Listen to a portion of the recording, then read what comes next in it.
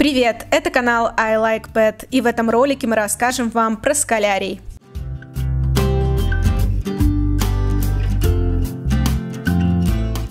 Скалярии – одни из самых популярных аквариумных рыбок. В народе их также называют рыбами-треугольниками за причудливую форму тела. Скалярии неприхотливы в содержании, имеют хорошую продолжительность жизни, за их поведением очень интересно наблюдать. Скалярии умеют распознавать людей, прячась от незнакомых и приветствуя хозяев. Они понимают, когда на них обращают внимание и могут показать, что они голодны, виляя хвостиком. Скалярия – это одна из самых известных и популярных аквариумных рыбок – в общем-то, многих называют треугольниками. Я, хочу треугольную рыбу. Это справедливо, действительно, это так. Но важно помнить, что скалярия является американской цихлидой.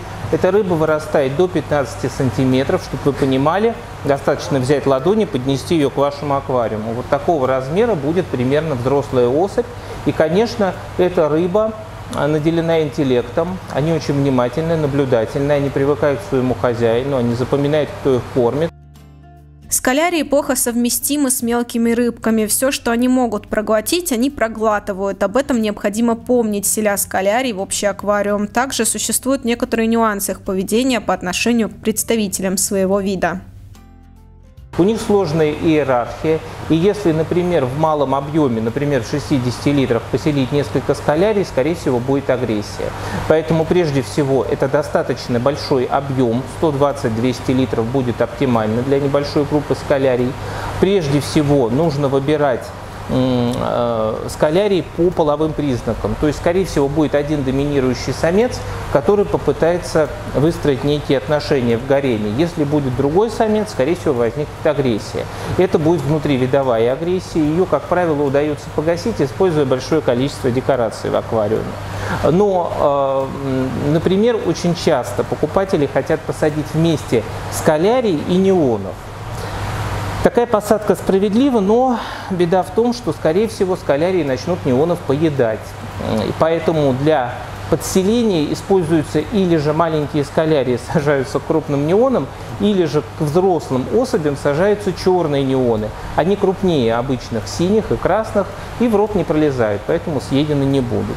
Так что скалярии – это хорошая, эффектная, красивая рыба со сложным поведением а, ну, для соразмерных аквариумов 120-200 литров.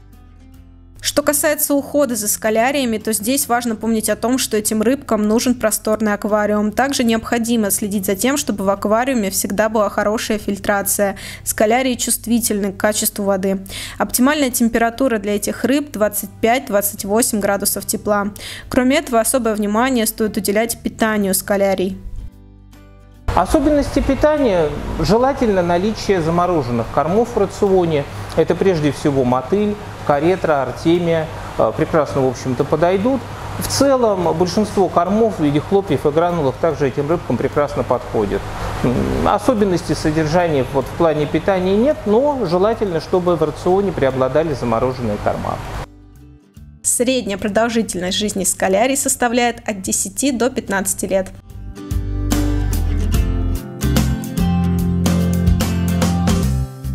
О других интересных подводных обитателях вы можете узнать на нашем сайте. Подписывайтесь, читайте и смотрите нас. Мы также представлены в социальных сетях.